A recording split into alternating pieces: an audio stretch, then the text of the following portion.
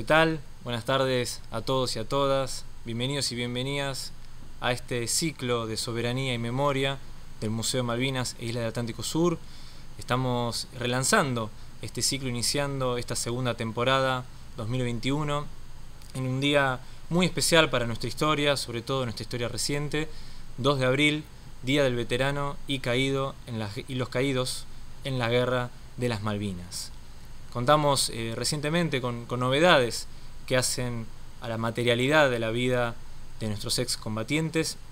El presidente de la Nación anunció que el Poder Ejecutivo de la Nación va a enviar tres proyectos de ley al Congreso de la Nación, eh, que entre otras cosas eh, prevé una jubilación optativa anticipada, prevé una mejora en las prestaciones sociales de nuestros veteranos de guerra, así como también la exhibición de pagar peajes en las rutas eh, argentinas. Esperemos que al igual que el año pasado, que se enviaron también tres leyes dedicadas a Malvinas, en esta ocasión, año 2021, podamos cerrar un nuevo año malvinero y ojalá que se aprueben por unanimidad de todos los partidos políticos.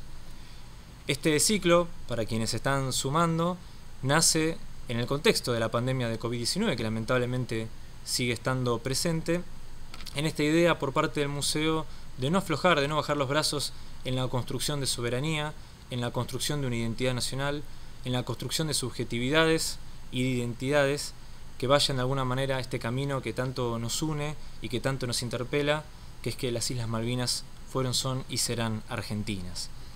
Quienes nos están viendo, como nos jactamos de ser un programa federal que se transmite a lo largo y a lo ancho del país, invitamos a quienes nos están viendo a comentar en el chat de la transmisión desde dónde, desde qué localidad, desde qué provincia nos están viendo y nos están acompañando. Y qué mejor para empezar eh, este relanzamiento de este, de este ciclo, para hablar justamente de la cultura, de la identidad nacional y de la construcción de una subjetividad que nos lleve al camino por la construcción de nuestra soberanía, con nosotros el ministro de Cultura de la Nación, Tristan Bauer. ¿Qué tal, ministro? ¿Cómo anda? ¿Qué tal, Juan? ¿Cómo estás? Un placer estar en este diálogo contigo. Estamos acá en el Museo Malvinas, venimos de un día muy emotivo, como son siempre los 2 de abril, un día de recuerdo, un día donde tuvimos la presencia de veteranos, de excombatientes de, de Malvinas, y donde todas aquellas emociones, la valoración que tenemos por aquellos que, lucharon, por aquellos que dejaron su vida en nuestras islas, por las que volvieron y continuaron la lucha.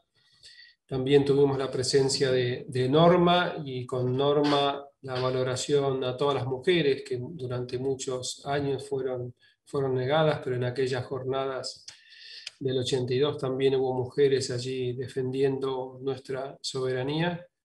Así que embargado, lleno de, la emoción de este, de este día, un día donde también en el museo, y los invitamos a todos a, que vengan, eh, inauguramos dos nuevos espacios, uno referido al mapa bicontinental y otro una donación de la AMIA de un extraordinario, muy poderoso, dramático mural en el cual recordamos al crucero General Belgrano.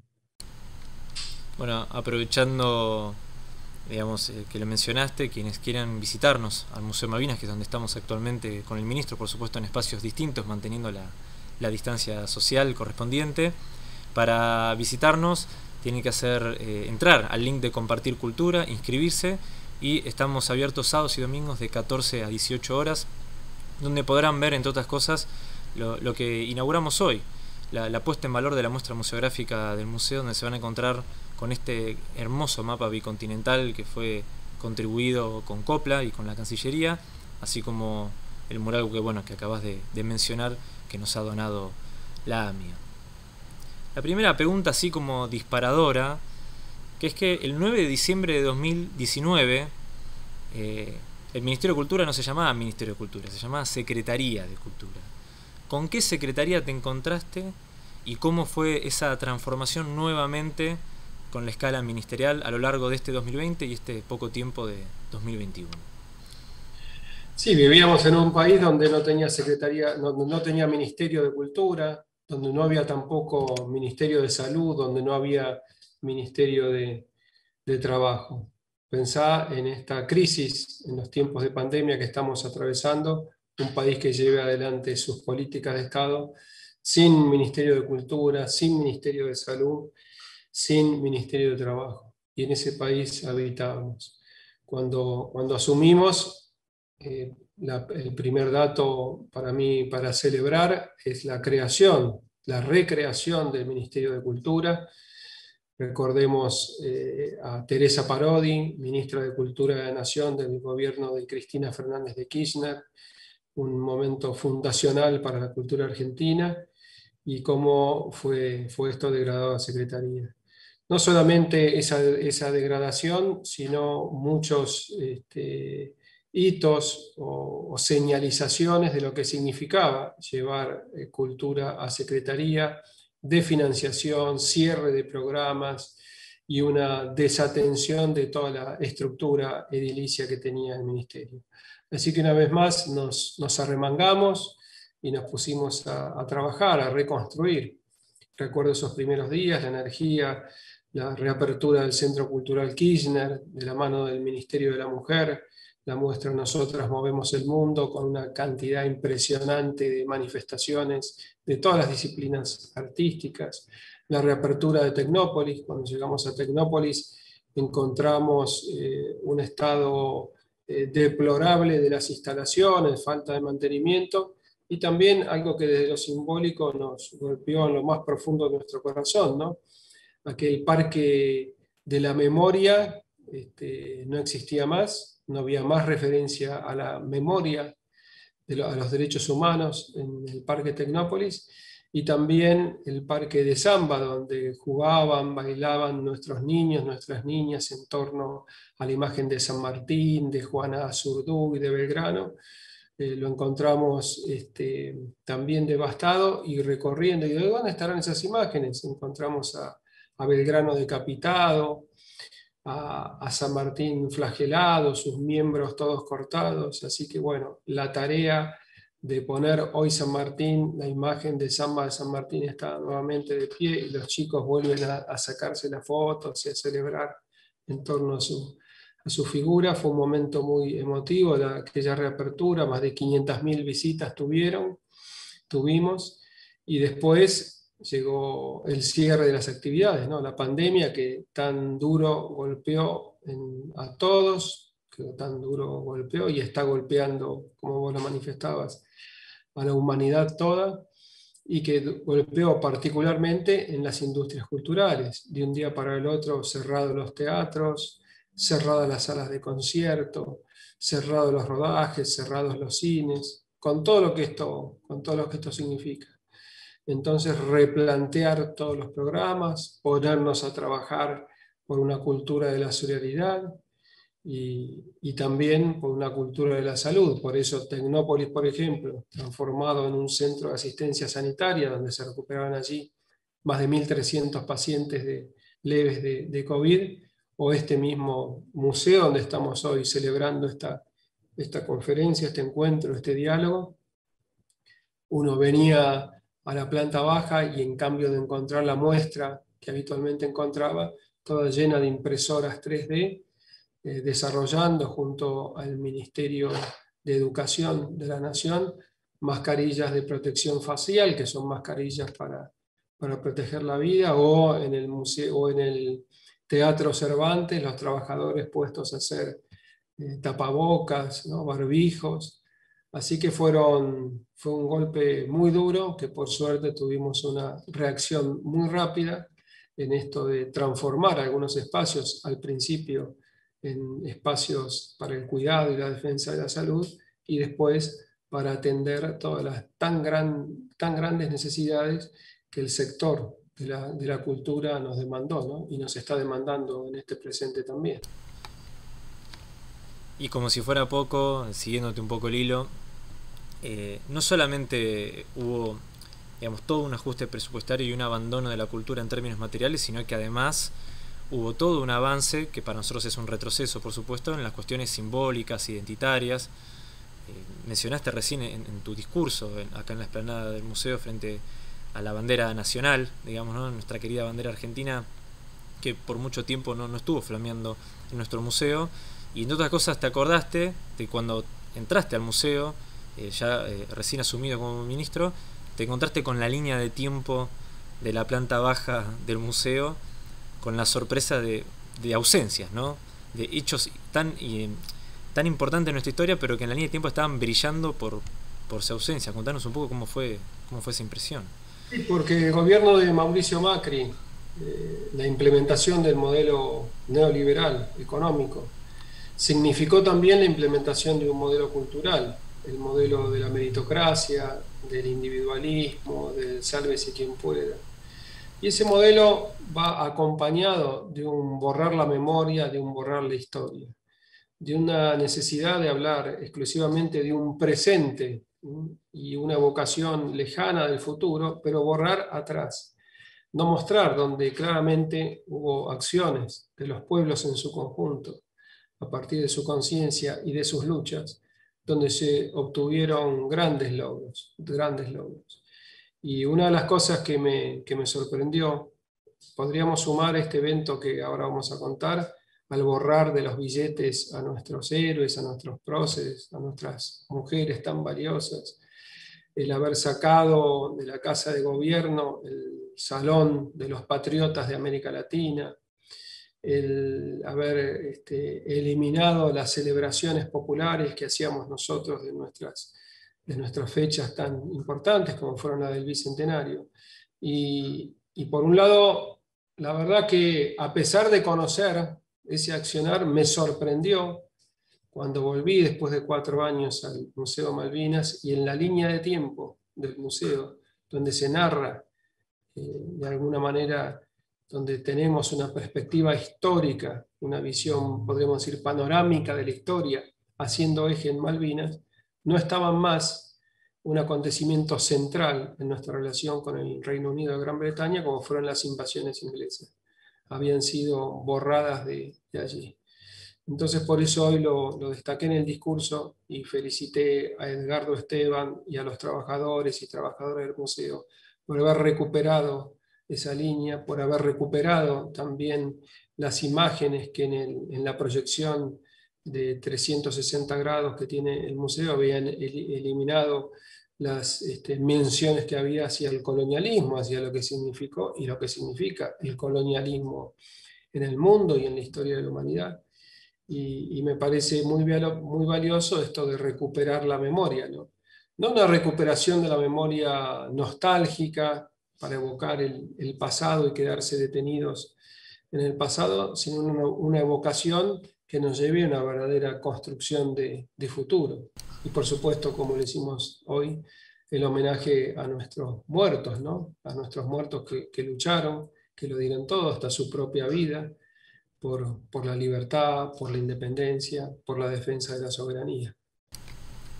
Nosotros acá desde el museo tenemos esta postura que cuanto más eh, nos adentremos en la causa Malvinas y en su historia y también en la historia nacional, mejor vamos a poder comprender la situación del colonialismo en el Atlántico Sur como una herramienta para una futura recuperación.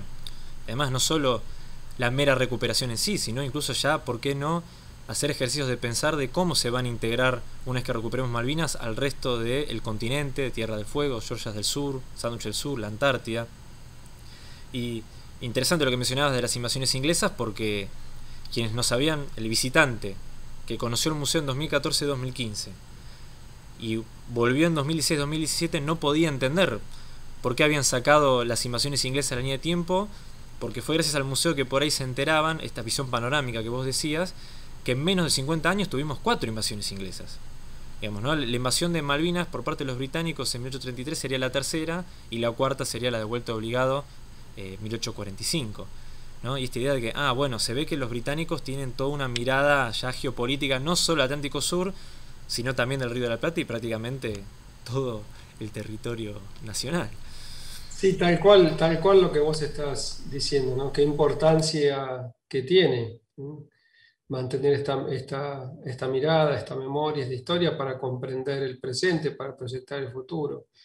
Qué importante también lo que se hace desde, todo el sistema educativo, ¿no? el ministro Trota, desde el Ministerio de, Educación, nuestras escuelas. Eh, y una cosa que me pareció muy sabia desde la génesis de nuestro museo, del Museo Malvinas, una idea que tuvo la quien era presidenta en aquel momento, Cristina Fernández de Kirchner, de no centrarnos exclusivamente en la guerra, no negarla, por supuesto, que está presente, pero tener una visión integral, una visión donde esté la historia, como vos venís mencionando algunos hitos, pero también que esté la geografía presente, también que estén las riquezas naturales, el patrimonio natural, a mí me, gusta mucho, vos sabés, particularmente me gusta la, historia, pero me conmueve mucho recorrer el museo y en el museo ver, por ejemplo, toda la, flora y la fauna que tienen nuestras islas, que tienen nuestros mares, la presencia de la Antártida, esa, esa mirada desde la geopolítica también. Me parece que es muy enriquecedora la mirada totalizadora que se, se presenta aquí en, nuestro Museo Malvinas. Y bueno, además quienes nos acompañaron en, este acto y, en esta inauguración de estas nuevas instalaciones, que bueno, quienes nos vengan a visitar eh, se, van a encontrar, estaba presente el embajador Films, ¿no? Eh, actual secretario de, Malvinas, Antártida eh, e Islas del Atlántico Sur, que bueno, fue otra otra de, si se quiere, las carteras ministeriales, como se habla en la jerga, si se quiere, periodística, que fue, digamos, cercenada durante la, anterior gestión y que fue degradada a subsecretaría.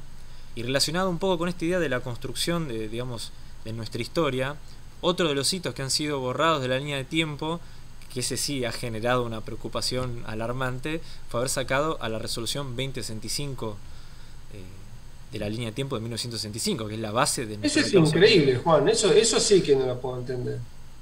Porque tener un Museo Malvinas y, negar esa resolución ya es algo, vos usás el término alarmante, sorprendente. ¿Qué habrán querido hacer los que tomaron esa decisión? De algo que estaba, borrarlo, como si esa resolución, uno de los grandes logros fue hecho durante un gobierno radical. Uno de los grandes logros este, de la Argentina en la lucha de la defensa de nuestra soberanía, indudablemente fue ese, y en un Museo Malvinas borrarlo. La verdad que es alarmante, sorprendente, y no me puedo, no puedo comprender, no puedo comprender. Lo de las eh, invasiones inglesas, sospecho, sospecho por, la, por el concepto de los vínculos que tenemos nosotros con el Reino Unido de Gran Bretaña, que habrá, alguien habrá dicho, bueno, no generemos rispidez, es un hecho que ocurrió hace muchos años, sospecho desde esa mirada, pero lo que vos marcás, no puedo comprenderlo, Juan. Yo tengo quizás una hipótesis, ¿no? Digamos, por haber, haber trabajado acá durante todo ese, ese periodo, que es que, bueno, eh, era una narrativa, eh, y bueno, corríjame, ministro, creo que estamos de acuerdo, que es que una de las consignas esenciales por la cual se crea el Museo Malvinas es que las Islas Malvinas son argentinas, no hay duda de eso, es un museo por algo del Estado Nacional. Y, en esa reformulación que, se hizo en la gestión anterior, había una mirada de, bueno, de narrar la historia del Atlántico Sur, pero como una narrativa descriptiva, ¿no? Eh, sin tomar, entre comillas, ¿no? Sin tomar postura respecto de, bueno, quién es el, legítimo titular. Pero Juan, pero hasta, en esa descripción vos no podés negar o esquivarle a ese hecho, que es un hecho central de nuestra historia. Es un hecho central. Pero bueno, por suerte también volvió esa línea y volvió la documentación y la presencia en el museo de ese hito, de ese mojón importantísimo en la defensa siempre por la paz, siempre reivindicando el camino del diálogo de nuestra soberanía en las, en las Islas Malvinas. Bien, vos hace un rato mencionabas ¿no? Eh, el inicio de la pandemia, que obviamente nosotros del museo estábamos esperando abrir nuestras puertas y volver también a esa masificación de la cual tanto nos, nos enorgullecimos en 2014-2015, que también el público fue bajando en estos últimos cuatro años, y vino la pandemia, ¿no? los espacios culturales, mencionaste el Cervantes, eh, nuestro museo, eh, Tecnópolis, se pusieron a disposición en la materialidad, ¿no? Para poder eh, contribuir en, esta lucha contra la pandemia. Y al mismo tiempo, y creo que quizás este ciclo es, un ejemplo de ello, se apostó fuertemente de una forma cualitativa, casi exponencial, a la virtualidad, ¿sí? El, digamos, el avance de la cultura en el plano de la virtualidad. ¿Cómo, ¿Qué balance haces de, ese hecho y que sigue hasta el día de hoy? Bueno, indudablemente eh, mi generación, mi generación, eh, nuestro movimiento, siempre le gustó mucho habitar el espacio territorial, la presencialidad. Somos y estamos este, formados en el abrazo, en las manifestaciones, en unirnos en las calles para la defensa de nuestras ideas, en crear centros culturales, cineclub, ambientes de debate. Desde hace algunos años se ha, ha venido irrumpiendo cada vez con más fuerza esta virtualidad, que también es un territorio, que así como entendemos el territorio que habitamos, la humanidad ha ido desarrollando de la mano de los avances tecnológicos esta virtualidad, una virtualidad que creció muy fuerte en los tiempos de, la red, cuando aparece Internet, cuando Internet se transforma en una verdadera red global, que de las manos de las redes sociales tiene otro pico y otro crecimiento exponencial y otro escalón aún mayor en los tiempos de pandemia. Los tiempos de pandemia que eh, utilizan, los cuales el hombre, la mujer, la humanidad toda utiliza esta nueva herramienta para la comunicación y, donde se genera una nueva cultura y un nuevo espacio. Entonces, así como teníamos antes esta presencialidad y este territorio de los abrazos y de la presencia, ahora tenemos este otro territorio virtual. Territorio virtual que sin duda es muy, muy complejo, es complejo incluso eh, su comprensión, porque esto que estamos haciendo ahora nosotros, el Zoom, que se ha transformado en algo cotidiano, esta pantalla que tenemos adelante, parece que tuviera una inmaterialidad. En absoluto, aquí hay una materialidad este, impresionante. Hoy quienes administran estas fibras ópticas, estos servidores, son empresas de las más poderosas del planeta Tierra. Así como antes estaban las petroleras, las grandes fábricas de, de automóviles, por ejemplo, ahora están estas empresas de la tecnología y la comunicación. Y bueno, esto significa un mundo nuevo que debemos comprender, pero sobre todo que debemos habitar, que debemos habitar y que tenemos que estar muy presentes para no quedarnos como espectadores pasivos mirando todo lo que ocurre en este territorio, sino ser protagonistas. Y donde la palabra, esa palabra que siempre está tan presente en el Museo Malvinas, soberanía, también es una palabra muy importante. En este territorio también defender la soberanía nacional y, abordarlo en toda su, dimensión. En lo específico de las industrias culturales, por supuesto que es un, un espacio que llegó, que llegó para quedarse, un espacio que ha modificado y está modificando toda la cadena de valores, que nos obliga a una nueva legislación y que, como todo cambio, eh, tiene muchas cuestiones que uno puede mirar críticamente, pero como es la concentración, por ejemplo, pero que también nos brinda muchísimas posibilidades, muchísimas oportunidades que tenemos que, saber este, aprovechar. Y, y también nos ha enseñado que para ser una verdadera democracia, en uno de los puntos que tenemos que trabajar muy fuertemente es en lo que se llama la brecha digital, acortar, en achicar esa brecha digital. Y, creo que es fundamental trabajar, lo está haciendo mucho el ENACOM en este momento, por ejemplo. También en el Ministerio de, Educación se está trabajando fuertemente. Eh, acortar esa brecha y este, democratizar la el posible acceso a las redes, el acceso a Internet. Eh, haciendo un, balance un poco, ¿no? De casi que, fue un contraste muy evidente entre lo que fue la, construcción de la cultura en 2003-2015 respecto a este periodo 2015-2019, y es algo que también toca la causa Malvinas, que tiene que ver con la trascendencia. ¿no? Recién eh, nuestro director en su discurso decía como anhelaba esta idea de queremos ver flamear nuestra bandera en Malvinas. Y una de las herramientas es, eh, pasar de generación en generación no solo las inquietudes, sino esta construcción de una identidad y estas herramientas para, como pueblo, ¿no? seguir e, en esta lucha por, la soberanía. ¿Cuál es la interacción del Ministerio de Cultura, las propuestas culturales, la juventud? ¿Cómo, cómo se aborda la cuestión de la juventud eh, desde la cultura hoy en día en nuestro país? Vos evocabas esas palabras de, Edgardo Esteban como director del museo y, en ese momento que creo que los que estábamos ahí en el acto, todos elevamos la mirada y vimos la bandera argentina, esa bandera inmensa, bellísima, como brillaba en el cielo, celeste y blanco también en el cielo.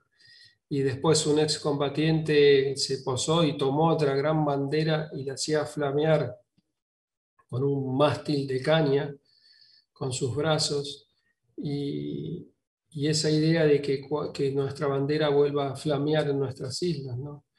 Y, es un deseo y es algo por lo que luchamos eh, en el pasado, en el presente y vamos a seguir luchando porque es un momento al cual yo creo que, que vamos a, a, llegar. Y esa construcción y esa defensa, vos preguntas por los jóvenes, ¿cómo hacemos? Son muchos los caminos hay algunas este, eh, ideas que son centrales. Es un camino que nosotros vamos a recorrer post y desde La Paz. Es un camino que lo vamos a desarrollar desde por las vías de la, negociación, de, esa negociación pacífica, pero donde el campo de las artes, donde la cultura tiene una, una valoración o posibilidades inmensas. Vos fijate que Hablábamos recién de que inaugurábamos un mural, un magnífico mural, donde el artista no solamente hizo la representación, una evocación muy dramática, muy profunda de lo que es el hundimiento del crucero General Belgrano, sino que al lado, y también de manera con una estética muy apropiada, escribió, grabó los nombres, los nombres que, de aquellos jóvenes, la mayoría muy jóvenes, que están hoy descansando en nuestros mares, en nuestro, en nuestro océano. Esa evocación, también un cantante como Eugenio, como Bruno Arias, estrenó en el acto una canción sobre, sobre Malvinas. Uno piensa en Atahualpa Yupanqui, en su hermanita perdida, piensa en tantos poetas y tantas poetas que escribieron sus líneas y, queda, queda, allí esa, esa, poesía presente que nos hace evocar y seguir este camino de lucha y de soberanía. Así que yo creo que la, que la tarea es muy grande y la participación de los jóvenes, ir como sin dejarla, sin dejarla, pasándonos la posta a las nuevas generaciones, sin dejar la posta, pasárnosla y seguir este, acompañando, es una tarea importantísima y, los jóvenes y las jóvenes de la, de la, Argentina la toman. Y este acto que nosotros hicimos hoy se reproduce en miles de plazas de nuestras provincias, de nuestros municipios, y le damos continuidad a esa lucha que, que empezó al día siguiente de 1833 y que lo vamos a continuar y que no vamos a cesar hasta que no vuelva a flamear esa, esa bandera pero sí entonces es mucho de lo que, lo que se puede hacer en este recorrido, en este camino desde las artes, y es fundamental el rol que tienen las, las juventudes, ¿no? Y no nos olvidemos hoy 2 de abril que estamos evocando a los caídos, que estamos evocando a los veteranos, a los excombatientes, que jóvenes, y cuán jóvenes eran, ¿no cierto? 19, 20 años, y fueron ahí y dieron todo de, todo de ellos con un heroísmo realmente extraordinario. Cuando uno más estudia, más lee, más conoce los testimonios, más conoce las dificultades, ¿no? las dificultades del, combate allí en las islas. Yo tuve la suerte de visitarla en dos, en dos oportunidades y ahí toma cabal conciencia de que es un territorio muy hostil, eh, cuánto les debemos a, a todos ellos. Muy, interesante esto que mencionás, de, pensar a Malvinas como una causa de la juventud, digamos, ¿no? Pero no quizás eh, enfrascarlo en, la juventud de quienes fueron a pelear, digamos, en Malvinas, la famosa clase 1962, clase 1963, sino esta idea de que Malvinas es algo que interpela a, los jóvenes más allá del tiempo y que es claramente una causa de la juventud. Mencionaste recién a, Bruno Arias, a Tahualpa Yupanqui, te sumo un Jorge Cafrune, ¿sí? y mencionaste también... me tocas en uno de mis puntos débiles, porque sin desdeñar a los demás, para mí Cafrune es uno del, no sé si el máximo, porque hay varios, pero sin duda está ahí en la cúspide bien alta de los máximos, de los máximos representantes, de los que llevaron nuestra música, nuestro folclore hasta, hasta los lugares más elevados. Así es, eh, que también tiene un tema de, Malvinas, al igual que, Atahualpa, y bueno, y Bruno Arias que se sumó hoy eh, estrenándola acá en el museo, hoy 2 de abril. Los hay tantos, los hay tantos y tan hermosos todos, tan conmovedores todos, ¿no? Sumo un Alberto Merlo, ya que estoy, que ese sí es mi preferido, canto surero, ¿no? santafesino, pero que ha, sido uno de los grandes exponentes de nuestro canto surero, bonaerense, ¿no? También como para como un ejemplo de, bueno, había un folclore en Buenos Aires. Eh, Merlo que tiene esa interpretación de, de Vuelta Obligada, que los parió los gringos, June Gran 7, Vuelta Obligado, espectacular, extraordinaria, única y conmovedora. Esa grabación queda para siempre también. Así es. Y bueno, ya que estamos mencionando a estos folcloristas, podemos agregar también a, Mercedes Sosa, esta idea de Malvinas como una causa federal. Si vos mencionaste también, y esto está pasando en todo nuestro país, hay, hay homenajes y actos a, lo largo de todas las provincias, de todos los municipios. ¿Cómo mezclamos Malvinas, federalismo y cultura? ¿sí? Se te ha visto el año pasado eh, recorrer todos los establecimientos culturales a nivel federal, en todas las provincias, de norte a sur, incluso también la provincia de Malvinas, que es Tierra del Fuego, Antártida e Isla del Atlántico Sur. ¿Qué imagen te llevaste y, cómo, cómo, sería esta apuesta cultural para, en la construcción de una identidad federal? Bueno, mira, a mí me, siempre me ha gustado, primero de, la mano de, mi viejo, digamos, con un viejo Ford Falcon de los años 68, recorrer el, el país y después lo seguí haciendo, la mayoría de las veces con una cámara en mano y, por supuesto lo continúo ahora como, como ministro. He tenido la suerte, como te decía, de visitar las Malvinas dos veces, de ir a la Antártida y recorrer, siguiendo los caminos de, de León Gieco, de Ushuaia a La Quiaca, todo el país. ¿no? Y en estas nuevas recorridas con respecto a Malvinas, lo que, lo que encuentro es fortalecido aún más, que siempre estuvo, estuvo presente yo nací en el año 1959, empecé a recorrer el país desde, desde chiquito y siempre veía ese mapa de las islas cada vez que vos entrabas a un, a un pueblo, cada vez que entrabas a una, a una ciudad, cada vez que visitabas una escuela, estaba eh, la imagen de nuestras islas. Y es algo que en este presente yo veo, veo fortalecido y lo veo a lo largo y ancho del país. Y lo que me parece muy bueno, muy bueno, y hoy agradecí, agradecí en el discurso no solamente a los que, a los que lucharon, sino a los países de América Latina que nos, que nos acompañaron en esa, en esa lucha en aquel 82. Y muchos lo hicieron con una decisión extraordinaria. Y yo, este, por supuesto que Malvinas es una causa nacional y es una causa federal, y lo sentís tanto en la provincia de Tierra del Fuego, y, la Antártida y las islas, pero lo sentís también en Jujuy, lo sentís en Salta, lo sentís en, en Tucumán, lo sentís en Córdoba, pero también lo sentís en, en América Latina. He visitado siempre nuestros, nuestros países latinoamericanos y creo que, que, es una causa argentina, la de Malvinas es una causa federal, pero también es una causa latinoamericana. Sí, bueno, justo recién el embajador Filmus en, su discurso también hacía hincapié en esto, de esta idea de, bueno, que sobre todo esto es un gran logro de nuestra Cancillería en los últimos 10-15 años, de lograr esa unanimidad regional respecto de, la causa malvina, de forma sincrónica, ¿no? Que, no, sea una especie de apoyo aislado, sino que sea de forma sincronizada. Y esta idea de, bueno, no solo construir soberanía desde un plano latinoamericano, sino también construir una identidad latinoamericana y que quizás Malvinas pueda ser una herramienta de ese amalgamiento continental. Ahí te quería preguntar también, un poco eh, retomando, vos mencionaste que naciste en el año 59, digamos, por pocos años eh, podrías haber eh, sido conscripto, digamos, ¿no? en, el teatro de operaciones.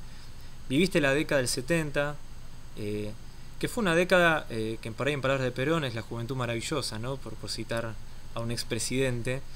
¿no? que fue una época donde si uno ve la literatura, uno ve la bibliografía incluso de Malvinas de esa época, eh, es muy enriquecedora, se debatían modelos de país, ¿sí? con esta consigna de liberación nacional, ¿no? Eh, que después del genocidio, ¿no? y, quizás eh, para quienes nos están escuchando nunca está de más aclarar que el Museo Malvinas se encuentra dentro del EXEMA, del Espacio por la Memoria y los Derechos Humanos, después del genocidio es como que ese debate de qué modelo de país y qué proyecto de patria queremos es como que se truncó y se fue retomando a partir del año 2003 la pregunta a la que iba con esta pequeña introducción. ¿Cuál es el rol de la cultura en un marco de un proyecto de nación o de un modelo de país, tomando en cuenta por ahí lo que vimos en los 70 y también sobre todo en estos últimos 20 años? Bueno, está muy bien lo que vos eh, le contás a todos los que nos están escuchando en este momento, que, que el Museo Malvinas está en el predio de la ex-ESMA, ¿no es cierto? Donde tantas atrocidades, persecución, muerte, tortura se han producido.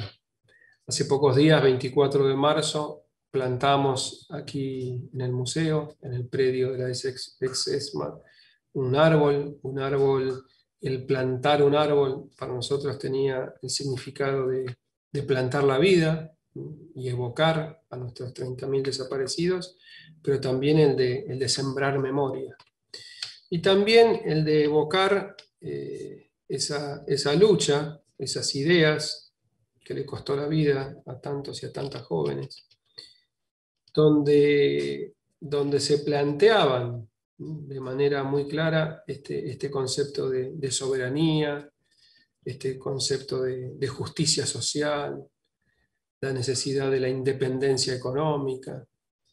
Y, y era algo que yo era muy chico, pero participé de todos los encuentros, debates, lo hacíamos en, aquellos eh, proto-cineclubes donde proyectábamos La Hora de los Hornos, donde proyectábamos Operación Masacre, la película basada en la, en la novela, este, donde proyectábamos actualización doctrinaria y donde debatíamos todo este corpus de ideas.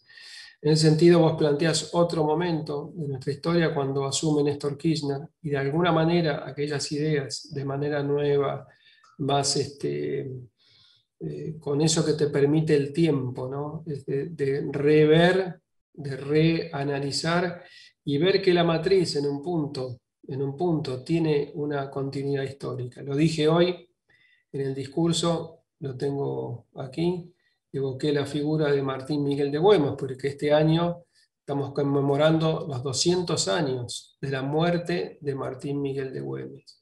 Martín Miguel de Güemes, con sus 36 años, una emboscada por el colonialismo español, había luchado también contra el colonialismo británico con una valentía, una audacia, a la edad que nuestros jóvenes de Malvinas, él tenía 19, 20 años cuando enfrentó a un barco inglés, la Justin, y logró tomarlo de a caballo. Pero entonces Güemes, en la idea de, esa, de esas luchas, esas luchas por la, por la independencia, ¿no? la figura de San Martín, de Juana Zurduy, de Belgrano, por supuesto. Y en los años 70 se retoman, se retoma esa memoria histórica de luchar por la independencia con, con mucha fuerza, se les da continuidad y por eso la atrocidad que ocurrió en todo el continente, que se expresó de manera cruel, tremenda, en dictaduras como la de Pinochet en, Chile y la de los genocidas acá en la, en la Argentina, pero que también la vivieron los uruguayos, los brasileños y otros países de nuestra, de nuestra América. Y entonces, de alguna manera existe esa, esa continuidad histórica, existe esa, esa tensión y creo que hoy 2 de abril reafirmamos esa defensa de la soberanía que es por Malvinas, pero que también es integral, ¿no es cierto? Un, un, país que defienda, lo decía también uno de los excombatientes, Mario Volpe, frente al mapa y veía el mar y la riqueza inconmensurable, ictícola, mineral de nuestros, de nuestros mares y cómo todos, todos tenemos que luchar por esa soberanía, como se hizo en la, en la independencia, lo hicieron nuestros, nuestros próceres, como lo hicieron nuestros jóvenes de Malvinas y como tenemos que hacerlos ahora, hoy. Con otras vías, estamos hablando de tiempos de democracia, estamos hablando de tiempos de paz, nos comprometemos a esa democracia, a esa paz y, la lucha es ahí. Y desde lo que nos, toca a nosotros, a vos que estás en el museo con tus compañeros, es este, hacerlo desde esta mirada cultural, que el término cultural en la Argentina muchas veces asociamos la palabra cultural exclusivamente a las disciplinas artísticas. Ah, el Ministerio de Cultura atiende la música, atiende el cine, atiende la danza, atiende la pintura. No, la palabra cultura es una palabra muy vasta, es una palabra hermosa que viene de, cultivar, cultivar la tierra, que lo hacemos en comunidad para generar frutos, para multiplicar las semillas, para que las semillas siempre surja esa, esa riqueza. Y entonces la cultura justamente la hacen, la hacen los pueblos, la hacen los pueblos. Y entre todos tenemos que, que desarrollar en tiempos de pandemia esta cultura de cuidado de la salud, esta cultura de la solidaridad, pero también esta cultura de defensa de nuestra soberanía. Bien, excelentes definiciones, perdón, las estoy eh, asimilando. Mencionabas recién, ¿no? A, la locución de Mario Volpe, el mapa bicontinental, ¿no? Eh, mapa que uno pensaría que es algo inocente, pero también lamentablemente cayó en, la grieta de nuestra historia, ¿no? un mapa diseñado conceptualmente durante la época del peronismo, durante la dictadura del 55, se retrocedió con el diseño conceptual, se puso la Argentina Sudamericana en el centro, la Antártida como un anexo a la derecha, y hubo que esperar recién hasta el año 2010 para que sea de uso obligatorio en los establecimientos educativos. Pero como bien mencionaba Mario Volpe, mencionaba el embajador Filmus, y de alguna manera mencionabas vos también, el mapa bicontinental es como una hoja de ruta que nos proyecta hacia el resto del continente, hacia el resto de Sudamérica y, por qué no, también al mundo. Acá sí viene la pregunta, ¿cómo ves al mundo hoy, ¿sí? desde el plano de la cultural, de las construcciones de las identidades? ¿Y cuál sería nuestro lugar como, Argentina? ¿Cómo nos ves nosotros como, argentinos, como nación? Y tomando en cuenta eh, esta construcción de soberanía sobre el Atlántico Sur? Bueno, el mundo de hoy es un mundo atravesado por el sufrimiento, por la enfermedad que nos trae la, pandemia, ¿no? Tantas muertes en cada uno de los países. La verdad que es un, daño atroz para toda la, la humanidad. Pero si nos ponemos un tiempito, si querés unos meses, unos días antes de la pandemia, indudablemente eh, era un mundo que nos daba señales de que íbamos por el mal camino, que el camino de la destrucción del planeta, con señales como el calentamiento global y tantos otros, que ese camino era un camino equivocado, que era un camino que llegaba justamente a la, a la destrucción. Muy sabias las palabras de, del Papa Francisco, que vamos todos en una misma nave y que el destino es un destino común.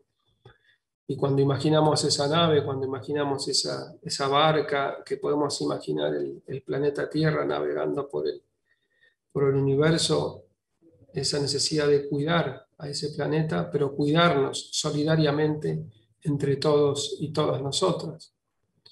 Ese camino de la hiperconcentración de las, de las riquezas en tan pocos, tan pocos, y el sufrimiento y el empobrecimiento de tantos es un camino que, que para mí conducía a la destrucción.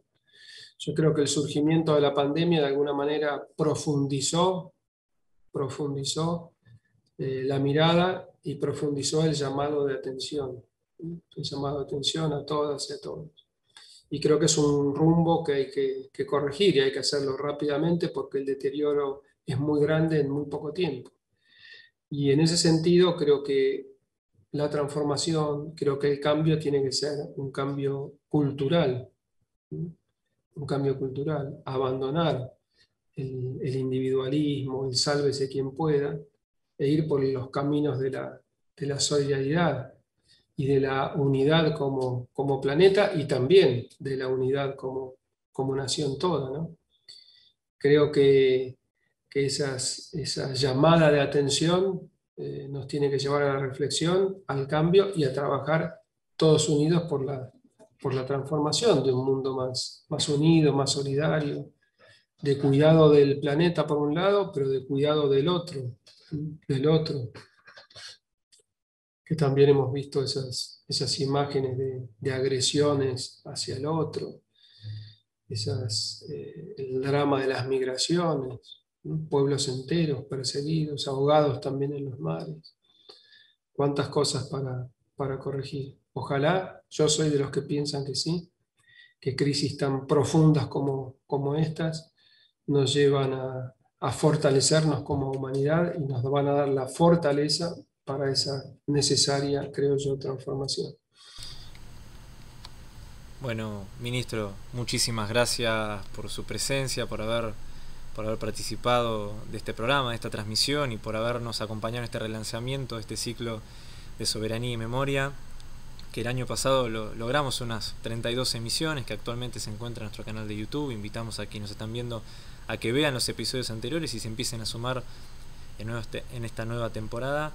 Y agradecido también por, sus palabras y por su presencia acá en el museo y por supuesto por haber impulsado esta remalvinización, ¿sí? esta malvinización que quizás como institución, ¿no? Museo, Ministerio de Cultura, nunca tenemos que, que de aflojar. Gracias Juan, gracias a Edgardo Esteban, gracias a los trabajadores y trabajadoras del, museo que llevan adelante esta tarea en tiempos difíciles, como, como le decíamos recién, y hoy, este 2 de abril, y siempre, y en forma permanente, nuestro homenaje a todos, a todas, a todos los que lucharon, a los que volvieron, a los que perdieron la vida en nuestros mares, en nuestras islas, y a los que nos siguen dando todos los días su ejemplo. Y bueno, nuestro abrazo especial para ellos, para ellas desde el Museo Malvinas.